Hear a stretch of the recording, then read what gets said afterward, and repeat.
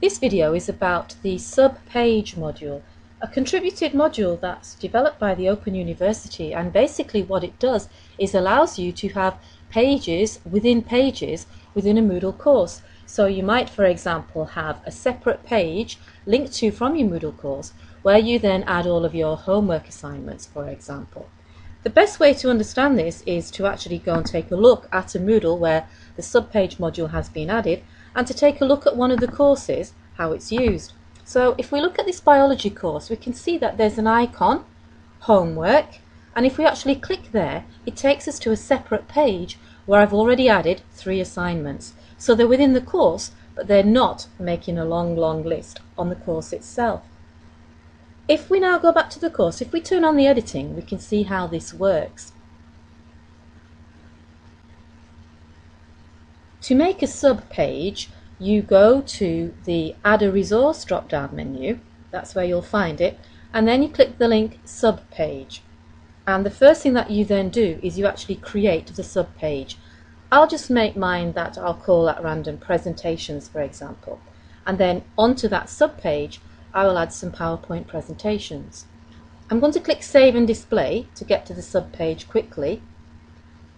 And what you then see is you have a little section, just like a course section, with the drop-down menus, add a resource as an activity. So I'm going to click on add a resource and I'm going to go to file and add a PowerPoint in the normal way. I'm not going to show you that little bit on the video because it's quite straightforward. But you see I now have a page, a sub-page presentations and if I click onto that I get to see the PowerPoint that I just uploaded. If we take a look underneath in this sub-page, we see that there's a couple of other things we can do. We can click a button to add a section, and what that will do is it'll give us another section just as if we were on a course page. So I've clicked the button, and I've got another section into which I could add a resource or add an activity. The other thing is you can move items to or from this particular sub-page.